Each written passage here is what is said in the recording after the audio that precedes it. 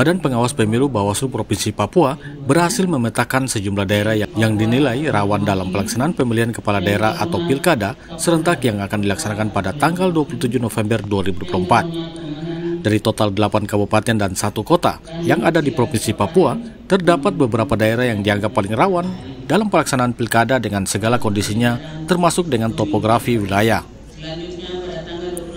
Ketua Bawaslu Provinsi Papua, Hardin Halidin, kepada wartawan di salah satu hotel berbintang di kota Jayapura menuturkan bahwa kerawanan dalam pemilu dan pilkada bukan hanya soal kecurangan semata.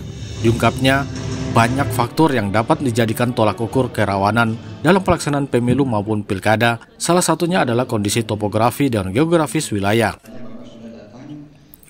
Menurut Hardin, jika pendistribusian logistik pilkada terlambat maka seluruh proses dan tahapan pilkada di suatu daerah dipastikan akan berubah dari jadwal yang telah ditetapkan karena akan berpengaruh pada proses rekapitulasi dan proses lainnya. Meski demikian, Hardin mengemukakan bahwa tingkat kerawanan pilkada di Kabupaten Mambramo Raya termasuk dalam kategori sedang. Sementara daerah yang dinilai tingkat kerawanannya cukup tinggi dalam pelaksanaan pilkada 2024 ini adalah Kabupaten Jayapura, Kabupaten Sarmi, Kabupaten Kepulauan Yapen, dan Kota Jayapura.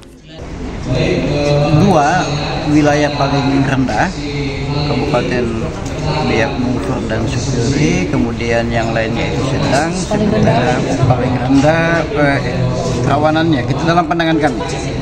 Kemudian yang saya baca biar tidak salah, yang paling tinggi itu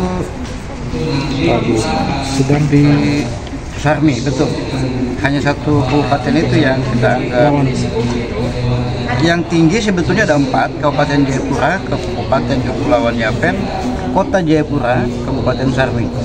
Yang rendah itu cuma Kabupaten Supiri. Yang keempat kabupaten lainnya Mambramo Waropen, Kerom, dan Jayapura itu sedang. Itu. Hardin menuturkan ada empat dimensi yang digunakan untuk memetakan kerawanan pilkada di Papua. Dimensi pertama adalah sosial politik, kemudian penyelenggaraan pemilu, lalu hal-hal yang berkaitan dengan investasi, dan yang keempat adalah partisipasi dari pemilih itu sendiri. Sebab menurutnya rendahnya partisipasi dalam pelaksanaan pemilu atau pilkada juga termasuk sebagai hal yang dianggap paling rawan. Yang penyebab kerawanan ini apa kalau boleh tahu? Kalau dari dimensi yang kami ini ini kan peta kerawanan ini diukur dari empat dimensi. Yang pertama isu sosial politik, yang kedua itu terkait dengan uh, penyelenggaraan uh, pemilunya, yang ketiga kaitannya dengan investasi, kemudian yang keempat itu partisipasi masyarakat. Nah, empat dimensi itu yang uh, menjadi dasar daripada apa namanya pemetaan kerawanan ini. Dijelaskannya berkaitan dengan dimensi partisipasi, kurangnya partisipasi dalam pelaksanaan pemilu maupun pilkada itu biasanya terjadi karena kurang pasifnya sosialisasi kepada masyarakat betapa pentingnya menyalurkan hak pilih.